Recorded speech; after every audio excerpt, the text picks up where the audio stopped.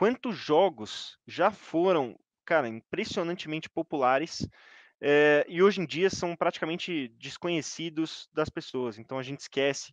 Eu não conheço muito dos jogos que é, primos meus jogaram, que pessoas mais velhas que eu jogaram, então eu acho legal a gente ter essa concepção.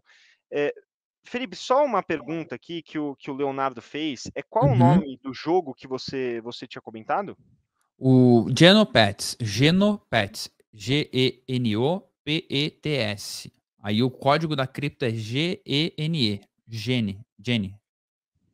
Vou, vou, acho que o, o, o, Leonardo vai experimentar, eu vou testar e depois eu te falo se eu gostei ou não. Tá é, bom. Uma, uma... Ah, não, pera, esse não tem o jogo ainda. O outro se chama Tetan Arena. Titan Arena. Ah, de, Tetan Arena. é, Tetan Arena. É fácil que é de celular, então já, já dá para baixar. É mais, é mais tranquilo ainda de jogar. É, uma coisa legal da gente comentar, então, acho que até fora as NFTs, que outros investimentos as pessoas podem fazer nesse mercado de metaverso. Então, fora as NFTs, você tem o próprio token daquelas plataformas de, de, de jogos, de, enfim, você tem o Mana, por exemplo, você tem o Sand do, do Sandbox, que também é um, é um projeto que as pessoas colocam muita expectativa de futuro. É, você tem o AXS do X Infinity. O que, que você faz com esses tokens? Por que eles podem ter valor no futuro?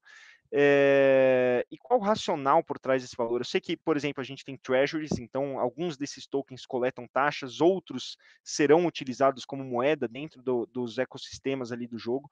É, como é que funciona o valor de cada um deles? E é uma forma que mitiga o risco de você investir no metaverso? Então, comparado a NFTs, na sua opinião? Cara, boa pergunta, né? Eu acho que cada jogo tem a sua particularidade, o seu token tem uma, um propósito. É, eu acho que a questão do metaverso ele vai até um pouco mais além, porque tem os protocolos ligados ao metaverso, né? Se a gente parar para pensar no metaverso como um todo, o metaverso do Zuckerberg é um metaverso centralizado que ele vai querer fazer. Existem os metaversos descentralizados, né? É, então, assim, os metaversos descentralizados já existem vários. E aí eu acho que esse sim vale a pena ficar de, de ficar de olho. É, agora, o quanto isso vai impactar, eu confesso que eu não consigo nem confabular isso, talvez. Seria como é, perguntar como seria a internet daqui 20 anos, lá em 1990, sabe? É, eu, eu confesso que a minha criatividade não vai tão longe assim. É, porque eu vejo esses tokens de, de, de, das plataformas de maneira geral, e na minha cabeça é muito mais investir em um ecossistema do que investir em algo que está dentro daquele ecossistema. Então, mesmo Exato. que aquilo mude lá dentro, mesmo que a NFT, pô, uma determinada NFT, um determinado avatar perde valor dentro do jogo.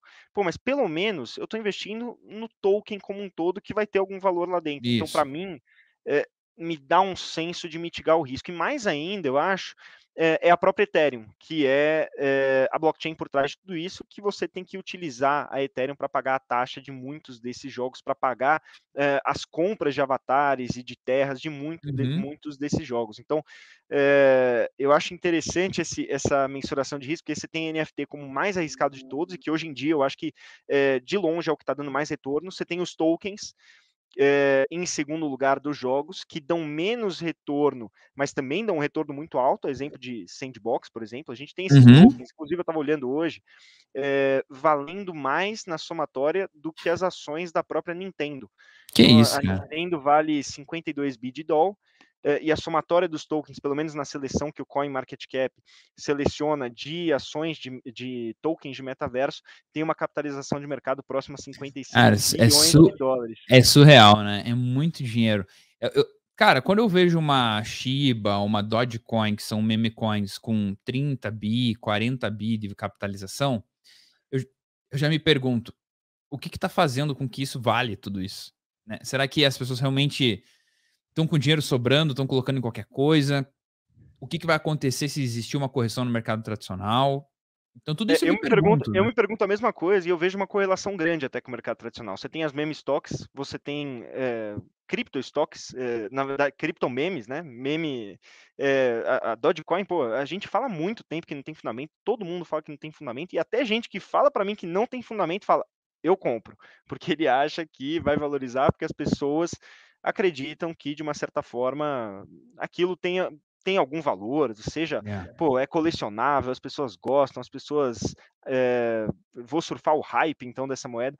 Enfim, a gente vê muita gente fazendo isso, é um caráter puramente especulativo, mas no longo prazo, o exemplo da, da, da Dash são moedas que têm pouca perspectiva de futuro. Então, se, se você pensar no investimento que não é especulativo, pô, vou esperar 10 anos para ver se aquela, aquela moeda vira chave, se aquilo vira alguma coisa, uhum. é, você não vai apostar numa meme stock, porque muito não. provavelmente, seja por qualquer razão, seja aumento de taxa de juros americana, seja qualquer razão, é, isso pode cair por terra de uma forma muito fácil. Cara, se fosse para mim com, me comprar cinco criptos para segurar 10 anos sem mexer na minha carteira, eu compraria sem dúvidas Bitcoin, compraria Ethereum, compraria Polkadot, compraria Link, e compraria talvez aí uma Solana. Tipo, são cinco criptos que eu compraria, que para mim são grandes projetos e que são aqueles projetos realmente para longo prazo, com coisas que estão mudando de fato a economia, que estão melhorando todo o ecossistema,